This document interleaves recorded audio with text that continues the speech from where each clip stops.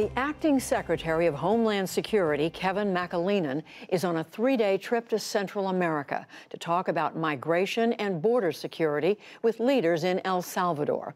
Our Amna Nawaz is along with McAleenan on this visit, and she joins me now from San Salvador, the capital. Amna, hello. So, this is McAleenan's, what, second trip to El Salvador in this role. What are they looking to accomplish?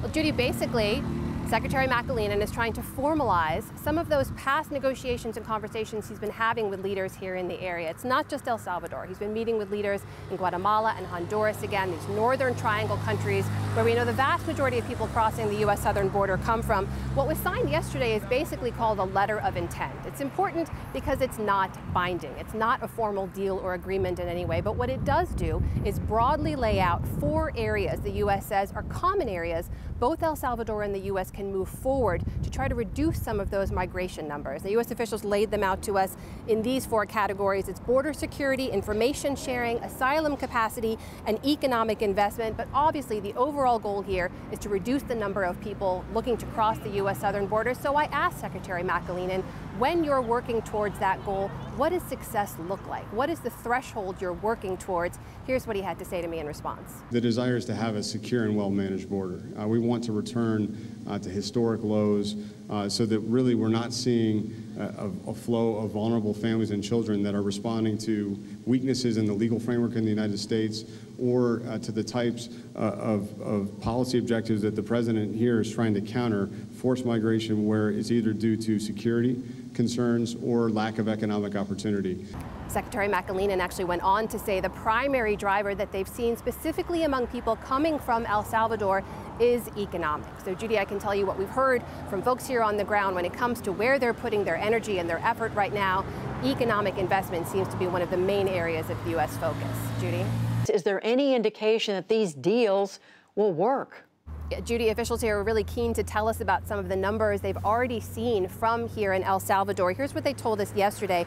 The number of Salvadorans crossing the U.S. border in May was 16,000. In August, they say they got that number down to 6,000. That's something they hold up as a sign of success, that a lot of these efforts and a lot of these conversations are working. It's also worth pointing out, though, that overall, when it comes to southern U.S. border crossings, those numbers have gone down. In July, in fact, those total numbers were below below 100,000 for the first time in about five months. We know that detention numbers have actually gone down. Custody times in detention have also gone down. So overall, because of weather, because of historical trends, but also largely because of a number of the steps the Trump administration has been taking to try to add deterrence, to try to limit the number of people crossing the U.S. southern border. Those numbers have been going down. And Amna, we know that El Salvador does have problems, uh, major problems with violence, especially uh, with regard to gangs. What did the president of El Salvador have to say about that?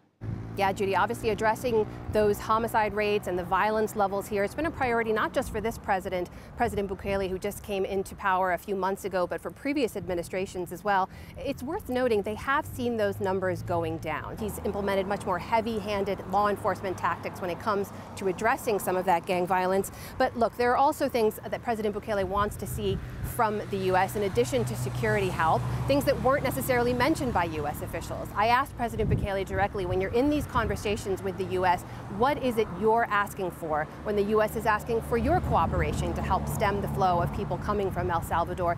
He listed a few things, including some kind of permanent status for Salvadorans in the U.S., many of whom have DACA protection or TPS protection. Uh, he also mentioned asking the U.S. to lower the State Department travel warning level from a three to a two for El Salvador, which he thinks would help to encourage tourism.